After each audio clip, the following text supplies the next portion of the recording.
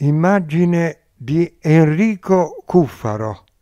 Onda vibratoria. Punto F. Attraverso Francesca R. A cura di VB. Domanda. È vero che il fenomeno medianico nella sua globalità si affievolisce? Guida. No. Si sta trasformando. Prende la forma necessaria all'evoluzione vibratoria a cui si accosta. L'insegnamento dell'ultimo cerchio, quello più lontano, non potrà mai essere paritario a quello dei cerchi più vicini al nostro.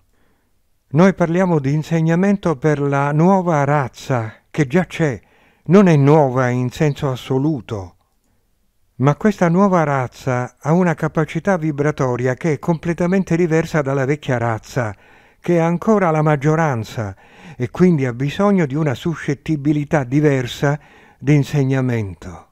La capacità vibratoria destinata a rovesciare l'evoluzione attuale non può essere paritaria a quella della razza precedente, che aveva bisogno di tantissime forme medianiche di diverso tipo, di moltissime manifestazioni fisiche.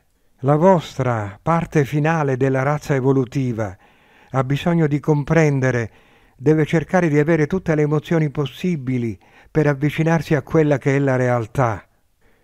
La nuova razza ha bisogno di un'onda vibratoria che l'avvicini alla percettibilità dell'onda vibratoria dell'amore.